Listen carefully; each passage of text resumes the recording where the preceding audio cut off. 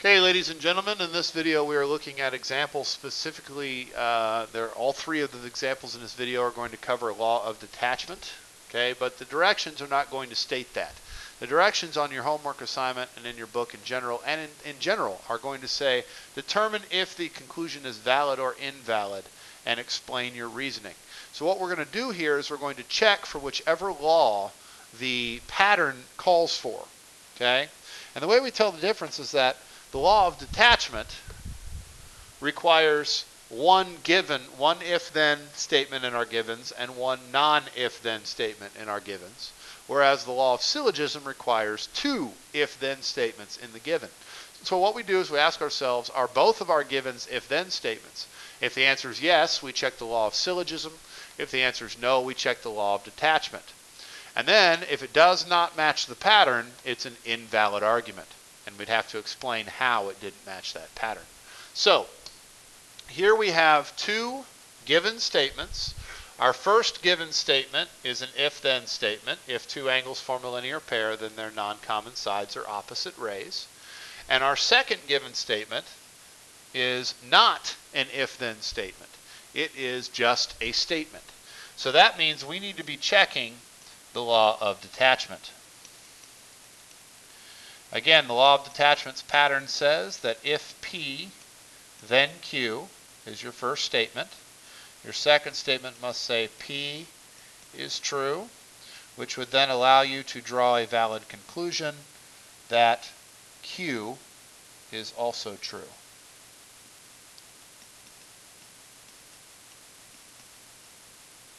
So that's what we're looking for. Okay, that's the pattern we are going to check we need to have that exact pattern. If P, then Q. P is true, which allows us to draw the conclusion that Q is also true. So, the if-then statement reads, if two angles form a linear pair, then their non-common sides are opposite rays. So P is going to be two angles form a linear pair, and Q is going to be their non-common sides or opposite rays which means that our second statement has to state that two angles form a linear pair, which it does. It specifically names angles AED and AEB. That's two angles form a linear pair. Now we should know our vocabulary enough to know that that means that those two angles are sharing vertex E and side EA. Those are the common sides common vertex and the common side.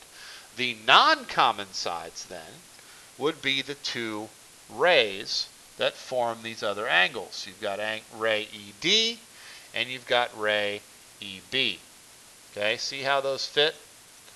Uh, Q, hopefully.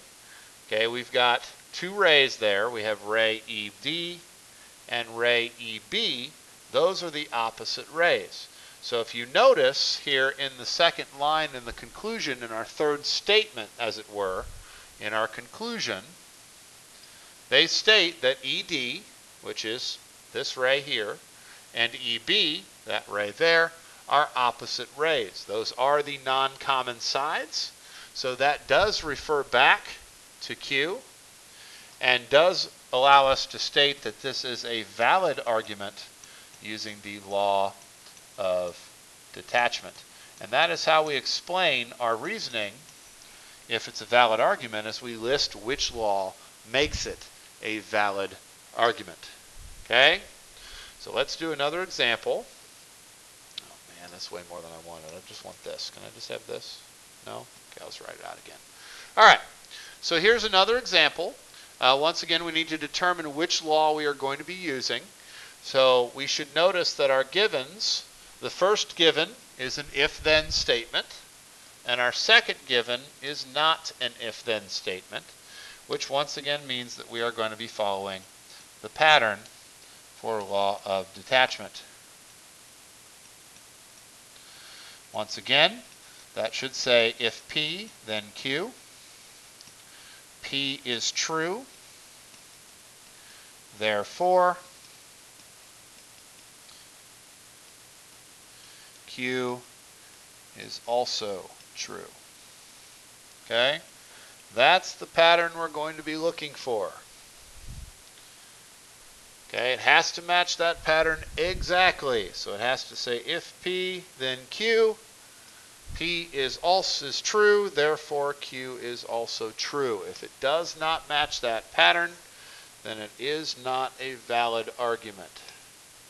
Okay, so let's have a look here. We have if Micah goes to the beach, so that's your P value, then she will wear sunscreen. So if P, then Q. Our second statement, then, should refer back to the hypothesis P. It should say Micah is going to the beach. It doesn't. It refers to Q and says that she is wearing sunscreen. This does not match the pattern.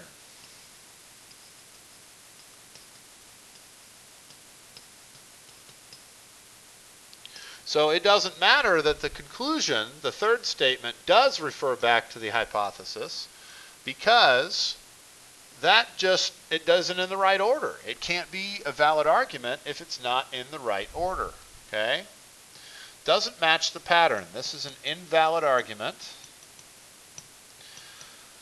The second given does not follow the pattern. for a law of detachment. It is in the wrong order. So this is an invalid argument, and we've explained how it's an invalid argument, so we have explained our reasoning. One more example, and we'll end this video. So here's a third example. Uh, once again, we should notice that our first statement is an if-then statement. Our second statement is not an if-then statement, which means that once again, we are going to check the law of detachment. So, once again, we take our if-then statement. If a student turns in a permission slip, so that's your P, a student turns in a permission slip, then the student can go on the field trip. So your Q is the student can go on the field trip. Your second given then refers to a specific student. It says that Felipe turned in his permission slip, which does refer back to P. So there is a valid conclusion. Our valid conclusion would have to be Felipe can go on the field trip, which is exactly what they've drawn as their third conclusion. That makes this a valid argument under the law of detachment.